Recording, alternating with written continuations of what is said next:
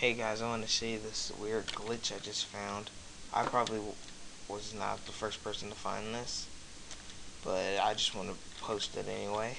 If you have a powered railroad track and some blocks, of course you always have blocks, but if you put one dirt block, sorry my dog's here, but if you put one dirt block on the side and you put a torch on top of it, you'll see that it does not power the or activate these railroad this railroad.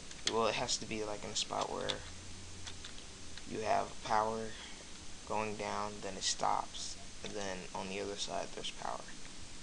And then so anyway to the glitch if you take one of your blocks I don't think it really matters say I can use a chest.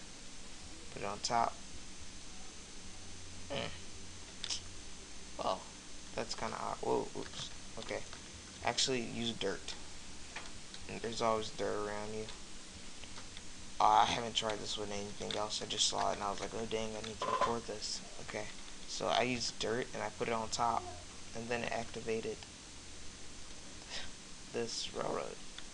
So I'm guessing there may be a current going from that piece of dirt to this piece of dirt to that piece of dirt to this railroad anyway hope you guys hope this became comes useful to you while playing Minecraft or anything just letting you know.